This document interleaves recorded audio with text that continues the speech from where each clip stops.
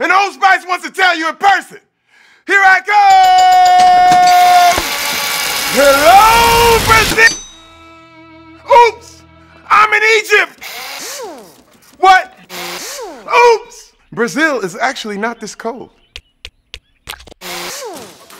Old Spice thinks you're amazing and is now available in Brazil! Obrigado.